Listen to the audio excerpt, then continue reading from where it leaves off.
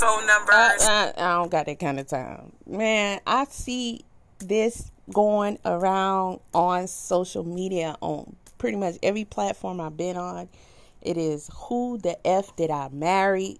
I'm thinking here's another reality show. No, it is this lady here who was in Atlanta, and I think I know who she is. But she is doing a series called Who Did I Marry? So it seems like there is a deep story behind this because everybody seems to be hooked on it, right? Okay, not everybody. People like me who don't got that kind of time, who got a lot of other stuff to do and reading and studying and all that kind of stuff and you know creating.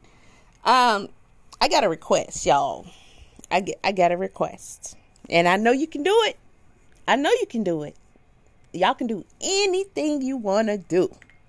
Please put this in the Cliff Notes video for me. Sum it all up. Thank you very much. And tag me. Please keep the video under like, I mean, five minutes.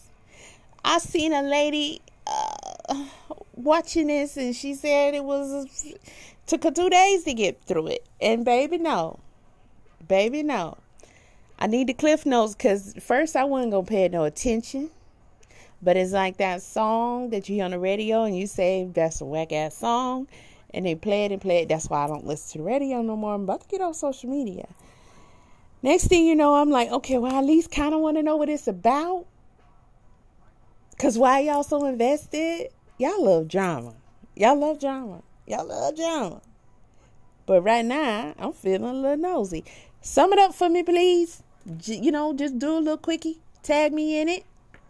I know you can do it. Who got the juice? All right, tag me on any platform. Any platform. Tag me. Okay? Thank you.